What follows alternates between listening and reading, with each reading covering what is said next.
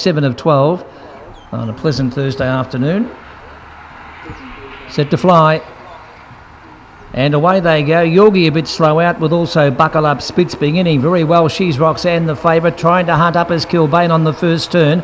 And just behind at the outside was Rusty Sidebottom. Getting between runners, Morabit Betty starts to run on. A length and a half clear of uh, Johnny's Bullet going to the outside. From there, Steamy and Yorgi.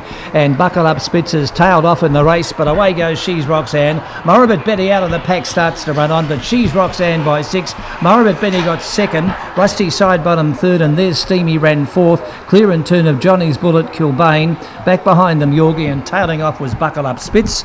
And the run is 26 and 26.